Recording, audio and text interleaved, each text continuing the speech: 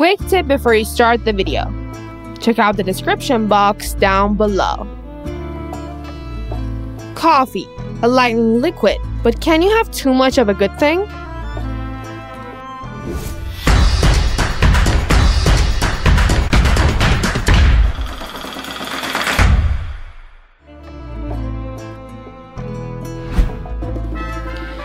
Hello, coffee lovers! We are here again to tell you some stories about coffee.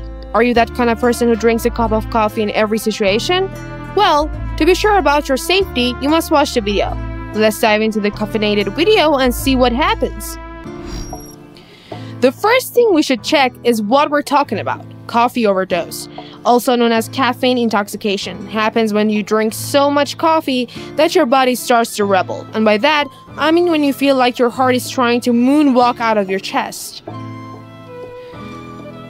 You want to stay up all night to study, work, or just enjoy the new series that Netflix published. One cup turns into two, then three, then ten. Before you know it, you've drunk more than you think, your vision is starting to blur, and your hands are shaking. Congratulations, you might be on the road to coffee overdose. Symptoms of a coffee catastrophe. The symptoms of coffee overdose can be different in a range from mildly amusing to downright terrifying. Here are a few of them. The fast heartbeat. Your heart decides it's time for a dance off, and you can feel it is doing its best to move and dance like Michael Jackson. You're pretty sure you can hear the theme music. The shaky hands. Suddenly, holding a pen becomes an Olympic sport. Signing your name will be a hard game, but applying eyeliner, it is definitely the final round. You might end up looking like a raccoon on a caffeine bender. The sweating. You're sweating like you're in a sauna, but it's just your living room. Your heartbeat gets so fast, so your body has no other choice but to sweat. Panic. Anxiety levels spike, and you start panicking about things that you normally don't.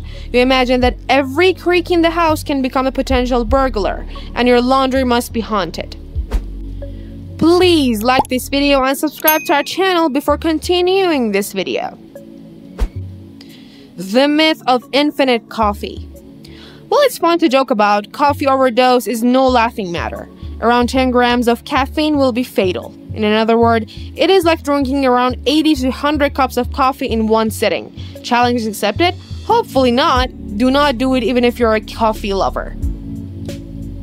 Despite the risk, most of us won't give up our beloved brew. And why should we? Although drinking too much coffee can cause bad things to happen, it has its benefits. It boosts alertness, improves mood, and can even help you live longer.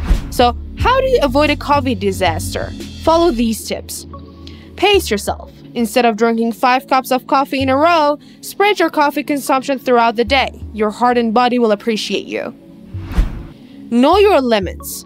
Know your tolerance level because it is different in every person. When you start feeling not well after a few cups of coffee, even if it's two cups, it's probably best to stop there. Hydrate. Water is your friend. Drinking water will undo the dehydration caused by drinking too much caffeine. Sleep. Getting a good night's sleep can reduce your reliance on coffee, so sleep well. In conclusion, yes, coffee overdose is a thing. It's the dark side of this lovely liquid. Thanks for watching this video until the end. Don't forget to like, share, and subscribe to our channel, and also check out the video on the end screen. Stay healthy, and goodbye!